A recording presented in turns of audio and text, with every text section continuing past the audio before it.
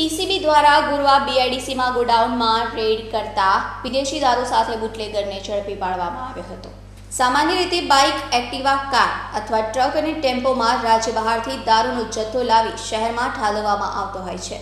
તેવું જ કંઈ પીસીબીના હાથે ઝડપાયેલા બુટલેગર દીપ દવેએ પણ કર્યું હતું. જેમાં તેણે જુદી જુદી વિદેશી બ્રાન્ડની દારૂની, જથ્થો, બિસ્કિટની વિવિધ બ્રાન્ડના બોક્સમાં ભરી દમણની ટ્રાન્સપોર્ટ મારફતે વડોદરામાં લાવ્યો હતો. ત્યારબાદ તેણે આ જથ્થો ગોરવા બીઆઈડીસીના ગોડાઉનમાં સંતાડી રાખ્યો હતો. જો કે દમણથી વિવિધ બિસ્કિટોની બ્રેન્ડના ખોખામાં મૂકીને લવાયેલો દારૂનો જથ્થો ટ્રાન્સપોર્ટ મારફતે રાજકોટ ખાતેના હિરેન નામના બુટલેગરને પણ મોકલાતો હતો. આ અંગેની જાણ શહેર પીસીબીની ટીમને થઈ હતી, જેથી પોલીસે ગોરવા બીઆઈડીસી સ્થિત ગોડાઉનમાં રેડ કરતા વિવિધ બિસ્કિટની બ્રેન્ડના ખોખાઓ જોવા મળ્યા હતા.